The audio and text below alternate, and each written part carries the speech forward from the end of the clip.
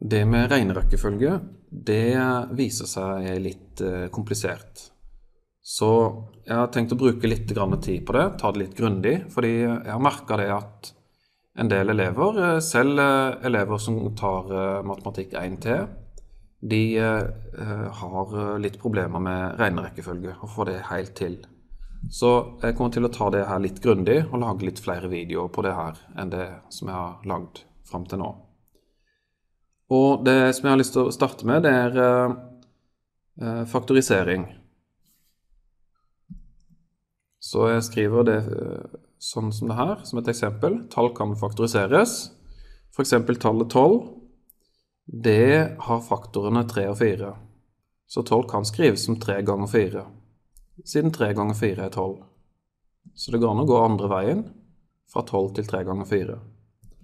Men 4 kan òg faktoriseres fordi 4 er lik 2 ganger 2, så vi kan skrive det her som 3 ganger 2 ganger 2. Og Det kalles å faktorisere. Å splitte opp et tall sånn i faktorene som eh, du ganger sammen for å få tallet. Og en annen ting er at rekkefølgen på de her faktorene de spiller ingen rolle i forhold til eh, hva svaret blir til slutt. Det er jo sånn at både 3 ganger 4 og 4 ganger 3 er lik 12. Så jeg kan skrive det som en, et ekstra punkt her. Så ja, vi har, kan starte med 3 ganger 4. Eh, vi vet at 3 ganger 4 det er det samme som 4 ganger 3. Så jeg kan skrive det opp her. Men det er jo òg lik eh, 3 ganger 2 ganger 2. 3 ganger 2 ganger 2. Og jeg kan skrive de her i en annen rekkefølge òg, hvis jeg vil. Jeg kan skrive f.eks. 2 ganger 3 ganger 2. Eller eh, til og med 2 ganger 2 ganger 3. Alt er det samme. Og alt eh, er jo eh, lik 12 når en ganger sammen. Det kan en teste på kalkulatoren hvis en vil. Så poenget her er at en kan stokke om på rekkefølgen på faktorene. Og det viser seg å være litt nyttig. Skal vi se etter hvert hvorfor det er nyttig. Så det er greit å vite om det her, fordi når vi ganger med negative tall, som vi gjør av og til, så viser det seg at negative tall har en faktor på minus 1. Det hørtes litt rart ut, kanskje, men eh, la meg vise et eksempel. Tallet minus 3. Det er jo et negativt tall. Og det viser seg at vi kan faktorisere det. Vi kan skrive minus 3 som minus 1 ganger 3. På samme måte som vi faktoriserte 12 her i stad, så har vi fått minus 1 som en faktor. Og eh, vi kan bytte rekkefølgen på de her òg. Vi kan skrive det som 3 ganger minus 1, hvis vi vil. Uh, og jeg syns det er greit hver gang vi har uh, minus, eller negative tall, så syns jeg det er greit å sette de i parentes. Spesielt hvis det skal ganges med noe annet. Så jeg, jeg syns det er lettere å se hva som skjer når jeg setter de negative tallene i en parentes når de er ganga med andre tall. Så vi kan godt skrive sånn som det her. Negative tall har en faktor på minus 1, så skriver jeg det i en parentes. Um, for det er lett å gå i surr når en skal ta minus ganger minus uh, mange ganger, uh, hvis ikke en er nøye med å se alle de uh, minusene.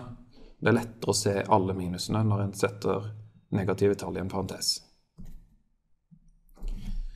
Fra ungdomsskolen så har vi jo en regel på det med å gange med negative tall.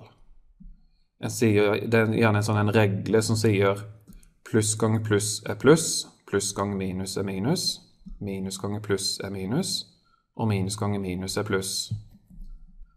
Og så kan en skrive det opp på den måten her, f.eks. Og den huskeregelen den er veldig grei, jeg bruker den sjøl. Men jeg tenkte det kunne være greit også å forklare eh, hvorfor det her er sånn. Hvorfor eh, Eller en annen måte å forklare f.eks. For det her med at minus ganger minus gir pluss. Det kan være litt vanskelig å forstå hvorfor det er sånn. Så jeg skal prøve meg på en forklaring nå. Det er ikke sikkert du kommer til å like den noe særlig. Men uh, mange som jeg har forklart den til, uh, syns det var greit å få, få, det forklart sånn. Så la meg prøve på det. Så den regelen som jeg har satt opp her, virker veldig rar. Å gange et tall med minus 1 er det samme som å hoppe stavsprang via null. Og det er selvfølgelig helt umulig å forstå hva det betyr, før jeg viser et eksempel. Så la meg først starte med å tegne opp uh, en tallinje. En tallinje den er god å bruke av og til for å forklare hvordan uh, ting fungerer i matematikken. Så jeg starter med å skrive 0 i midten her, 1 og 2, og så fyller jeg ut begge veier med positive og negative tall. Sånn. Og eh, det fortsetter jo ut gjennom, men jeg, jeg nøyer meg med å sette opp fra minus 6 til 6. Så la oss si nå at en skal ta og gange eh, Skal vi se nå Vi skal ta og gange 3 med minus 2. OK? 3 ganger minus 2. Hvis en kan det her, så vet en med en gang at svaret skal bli minus 6. Nå skal jeg prøve å forklare med hjelp av denne stavsprangmetoden. Vi vet at minus 2 den kan faktoriseres sånn at vi kan skrive det her som 3 ganger minus 1 ganger 2. Og I tillegg så kan jeg bytte rekkefølgen på faktoren her, så jeg kan skrive det her som 3 ganger 2 ganger minus 1 til slutt. Det er lov. Og 3 ganger 2, det er lik 6. Så jeg kan skrive det som 6 ganger minus 1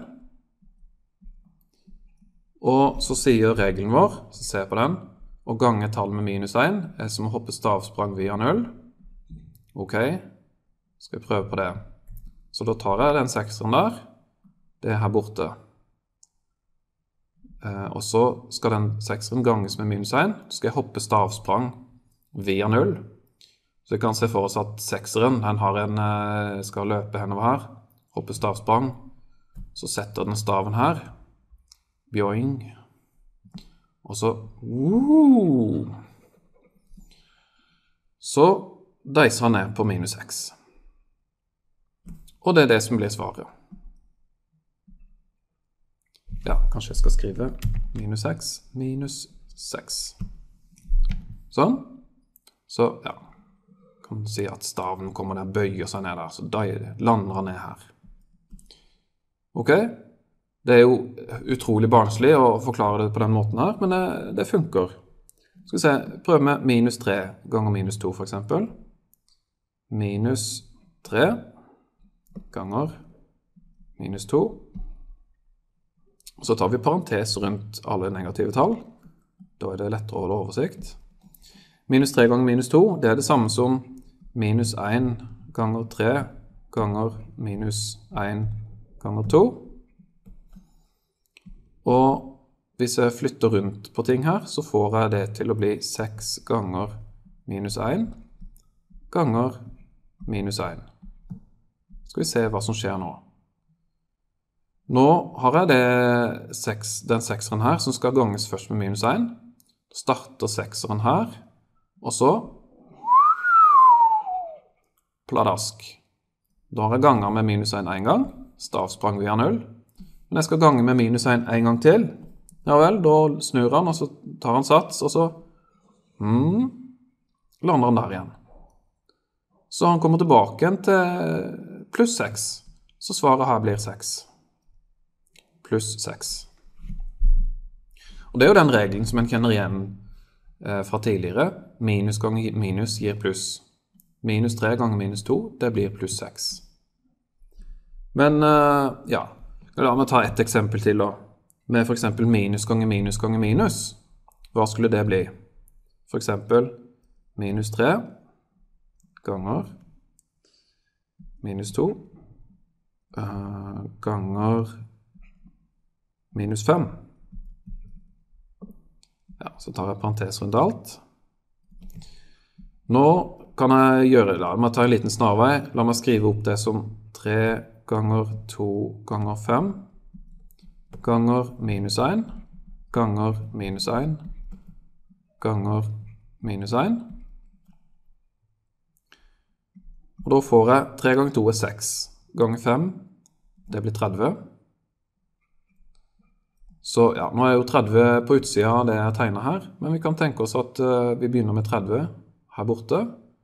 Og så hopper den over via 0 og de som er på minus 30. Det var den her første gangen med minus 1. Så hopper han tilbake, opp til 30 igjen. Det var den andre.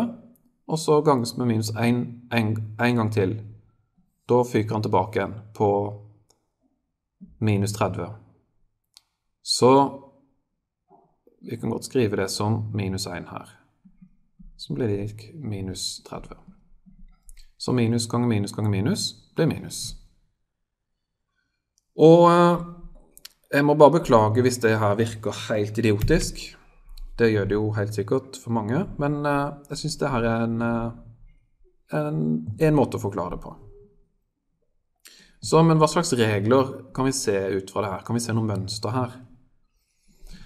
Jo, så en ser vel det eh, kanskje at hvis eh, vi ganger med minus et partall antall ganger, så her ganger vi med minus to ganger, minus ganger minus, da blir det pluss. Men hvis vi ganger med minus tre ganger, her har vi minus ganger minus ganger minus. Det er tre ganger at vi skal gange med minus. Eller én gang at vi skal gange med minus. Da blir svaret negativt. Så la meg prøve å skrive det, den regelen på en slags måte her nede. Så hvis en skriver det sånn som det her Hvis det er to eller fire eller seks eller åtte osv. negative tall i gangestykket, så blir svaret Det er jo to alternativer, positivt eller negativt. Da blir jo svaret positivt. Fordi vi hopper da fram og tilbake én gang, eller fram og tilbake to ganger, eller fram og tilbake Uansett, En kommer alltid tilbake når det er et partall antall. Så en kommer alltid eh, tilbake til et positivt svar. Men hvis det er et oddetall antall negative tall i, gangstykket, så må svaret bli negativt. Så jeg har kopiert teksten her, og så flytta den ned så har viska vekk. Så det som må stå her nå, det er 1, 3, 5, 7 osv. negative tall. Så må svaret bli negativt.